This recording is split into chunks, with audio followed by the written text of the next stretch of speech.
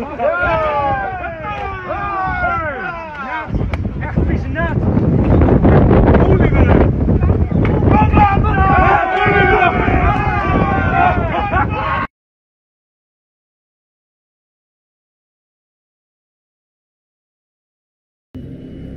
was called Vladislav Surkov.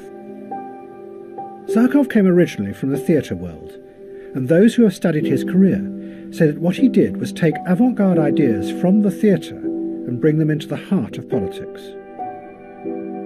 Surkov's aim was not just to manipulate people, but to go deeper and play with and undermine their very perception of the world, so they are never sure what is really happening.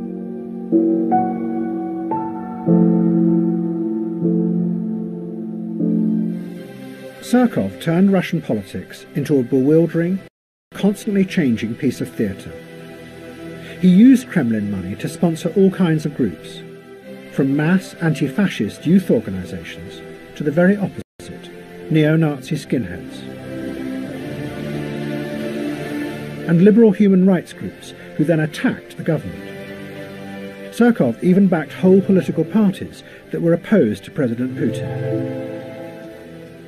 But the key thing was that Surkov then let it be known that this was what he was doing, which meant that no one was sure what was real or what was fake in modern Russia.